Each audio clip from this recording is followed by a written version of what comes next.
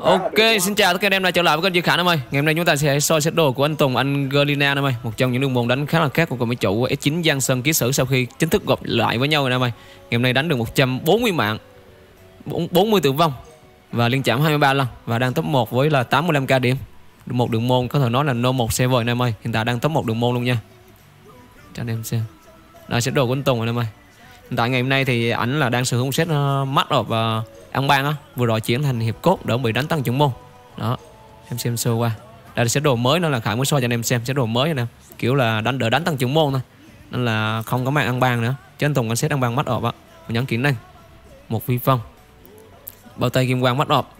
Nón thủ lý ờ, làm chậm mắt ọp. Áo hồ 50 nói này đai lưng 19 40 giày 20 40 một một một một cái nỏ xanh 30 50 mắt vinh hoàn toàn. Một ngựa kháng cả 7 vùng sáng mặt nạ thiên tử hai cấp. Ui, hôm nay anh Tùng lên tăng trưởng môn đường môn là cái chắc rồi em ơi thôn lý 25 à, ờ, sinh lực 200 đó một set đồ đánh tăng trưởng môn quá dữ. Top 2 của server nha em và top 1 đường môn. Đó giá trị của set đồ này thực sự là hiệp cốt thì nó hơi rẻ thôi không mắc mắc ở được cái nón này nón khoảng 10 triệu. Bao tay thì khoảng tầm server tầm này khoảng tầm khoảng 7 8 triệu gì đó.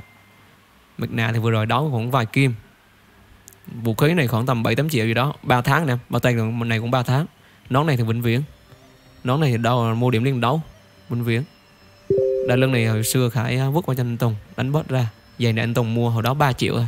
Con người này thì tầm server khoảng tầm à, hơn à, con người này một ngàn sinh lực này mà, hơn mười mấy triệu á. Người thường thì đã 8 triệu 9 triệu rồi. Ấn này thì 3 triệu rồi, nói chung là set đồ này thì mới là khả soi cho anh em xem thôi.